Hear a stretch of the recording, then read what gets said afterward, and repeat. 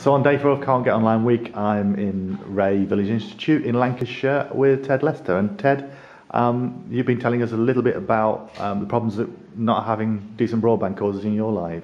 Um, what, what are some of them? Well, I work for an American software company uh, and I work from home. So if I had decent broadband access, I'd be able to, to work from home office. But unfortunately, um, we don't.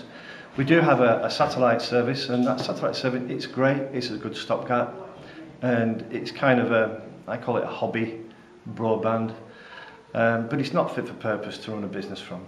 So I, I rent an office in a, in a village nearby, uh, and I go there on a daily basis. Uh, my children, um, they've all been through education, and, and education these days, uh, they're given homework, and that homework is online. so they need to be able to get to it online. And on occasion, my children have been given detention because they couldn't get to that, that homework online. Mm. Uh, my wife is in, she's uh, in full-time employment, but she is taking a degree as well. And so she's in, in part-time education. So she needs to be able to get online.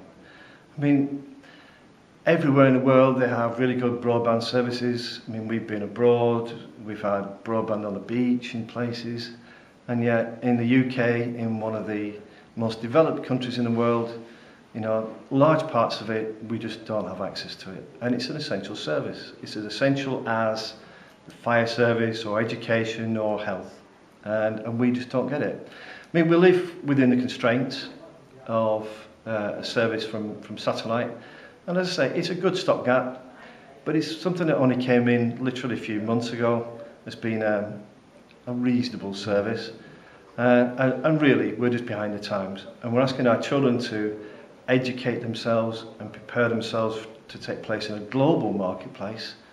And, and we're just so far behind the rest of the world.